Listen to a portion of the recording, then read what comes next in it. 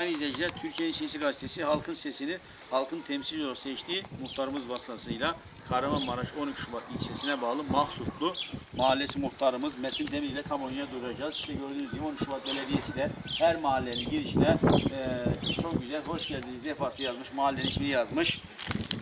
Hanifi Mahçiçek Belediye Başkanımıza da çok teşekkür ediyoruz arkadaşlar. Türkiye'deki en çalışkan ve özverili bir belediye başkanımız. Evet muhtarım bu, bu içme suyu sorunu var dediniz ön e, görüşmemizde, sohbetimizde. Kaç hane efendim mahallemiz? Mahallemiz 135, 140. 140 hane. Evet. Ya, e, su yetersiz mi efendim? Kaç tonluk su depomuz var? Ya kaski yani 34 tonluk depo yaptı her mahalle. Bir de benim mahalle 3 tane mahallem 3 ayrı sokak oralar. Sokak ismini aldı evet. 3 tane sokağım var. Yani üç Ayrı ayrı 30'ar tonluk, 90 tonluk. Evet.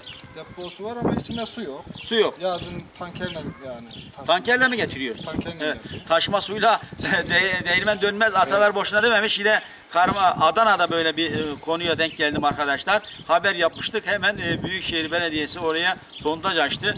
Biz bu hizmetin burada da yapılmasını istiyoruz arkadaşlar. Taşma suyla değirmen dönmez. Yaz aylarında vatandaşlarımız genelde mağdur oluyor. Onun için bu mağduriyetin giderilmesini istiyoruz.